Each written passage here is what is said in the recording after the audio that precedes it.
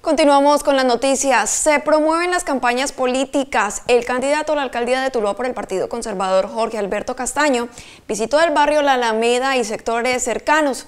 Ahí estuvo CNC Noticias.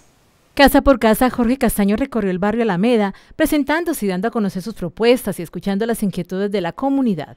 El candidato se sintió satisfecho. muy bien, muchas gracias. El día de hoy continúa usted con estas visitas a los hogares tulueños, ¿cómo va? ¿Cómo avanzan? Muy bien, avanzamos bien, seguimos viendo ese respaldo y ese amor que tiene la gente, esa pasión que ya se empieza a sentir y más cuando lo ven a uno que ya identifican que Jorge Castaño representa pues la continuidad del modelo implementado en la ciudad. Entonces esto es muy, muy energizante para mí porque ver este respaldo de la comunidad es muy importante. Bien, ¿qué barrios van a continuar y deben de esperar la visita de Jorge Castaño?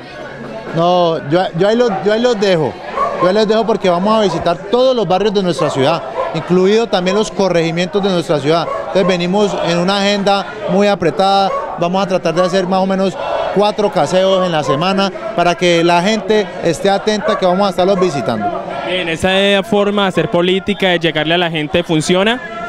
Claro que sí, aquí no hay como el mano a mano que la gente escuche de primera mano el programa de gobierno que se tiene para implementar en la ciudad, para que miren cómo voy a dinamizar la ciudad en estos próximos cuatro años, cómo vamos a renovar nuestro municipio. ¿Qué le dice la gente cuando llega a los hogares? No, hay un ánimo, un ánimo, ya hay un reconocimiento, porque venía en un trabajo de reconocimiento, presentándome a la comunidad y ya lo que me invitan es a pasar a sus casas, a escuchar ese programa de gobierno porque están muy interesados en estas propuestas para que la ciudad siga avanzando. El candidato espera continuar las visitas a todos los barrios de la ciudad de manera personal para contar a la ciudadanía las propuestas de la Fuerza del Cambio.